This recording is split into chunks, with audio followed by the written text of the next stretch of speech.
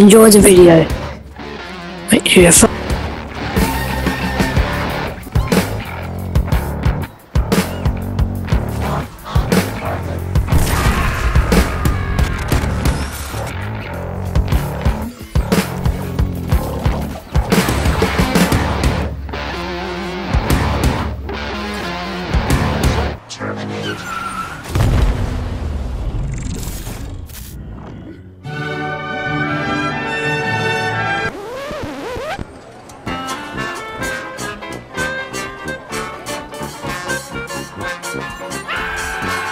see that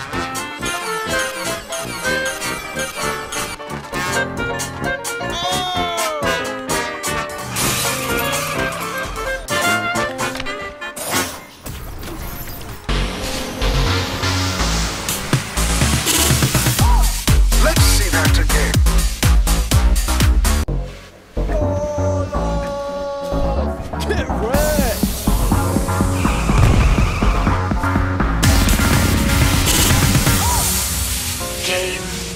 over.